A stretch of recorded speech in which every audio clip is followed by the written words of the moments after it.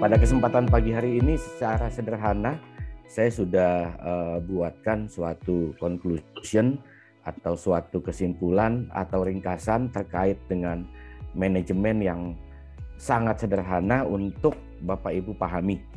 Ya, memang dalam kesempatan pagi hari ini dalam sesi yang pertama terkait dengan model manajemen saya akan lebih banyak menyampaikan hal-hal yang bersifat kepada teoritis ya untuk uh, Bapak Ibu bisa mendapatkan pemahaman secara esensi apa itu manajemen gitu. Nanti di sesi minggu depan baru kita akan coba bahas uh, lebih kepada praktikalnya ya bagaimana menyusun rencananya, bagaimana kita membuat analisa untuk menentukan apa yang harus kita kelola dan bagaimana cara kita mengelola atau melakukan manajemennya.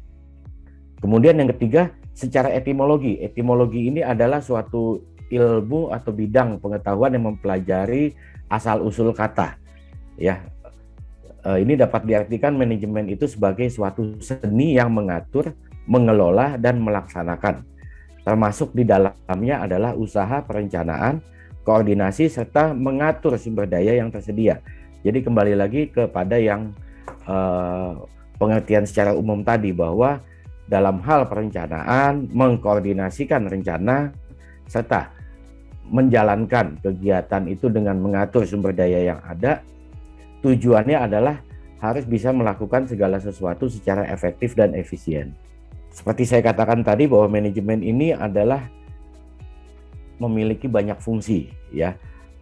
Fungsinya ini adalah bersifat universal, artinya berlaku di segala aspek kehidupan dan berlaku sama di seluruh dunia di dalam bidang apa pun.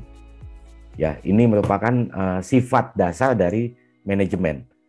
Empat aspek ini sangat penting di dalam kita menjalankan aktivitas usaha kita. Kenapa? Di awal kita harus melakukan yang namanya perencanaan. Apa yang akan kita lakukan, bagaimana kita akan melakukannya.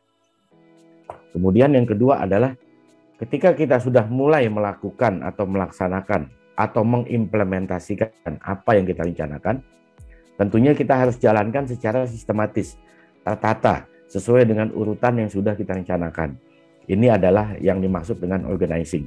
Kemudian yang ketiga adalah directing atau fungsi dia untuk mengarahkan kita.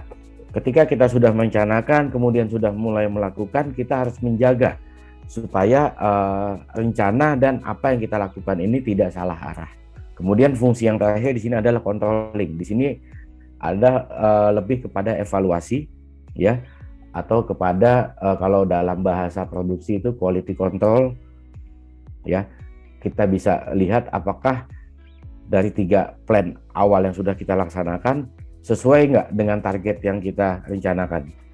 Di sini masih area dalam fungsi manajemen ya Bapak Ibu ya. Dari keempat fungsi dasar yang tadi sudah saya sebutkan ya, jika kita jalankan secara cermat dan sistematis, artinya kita jalankan secara rutin, kita jadikan pakem atau panduan dalam aktivitas kegiatan kita, ya, ini dia bisa bermanfaat untuk uh, merancang strategi melalui pendekatan yang lebih sistematis, rasional, dan efektif. Artinya, ketika kita menyusun perencanaan, kita akan lebih mudah karena kita sudah memahami, sudah tahu bagaimana sistem merencanakannya. Kemudian kita akan lebih rasional. Rasional di sini adalah kita lebih banyak menggunakan logika yang terukur.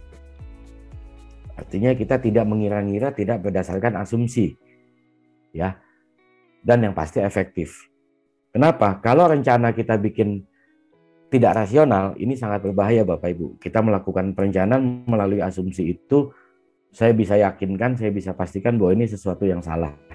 Dalam perencanaan itu kita harus melakukan segala sesuatu yang bersifat rasional dan penuh perhitungan. Tidak boleh kita menggunakan asumsi. Kira-kira ini banyak terjadi di UMKM. Ya, kebanyakan menyusun rencana itu based on asumsi.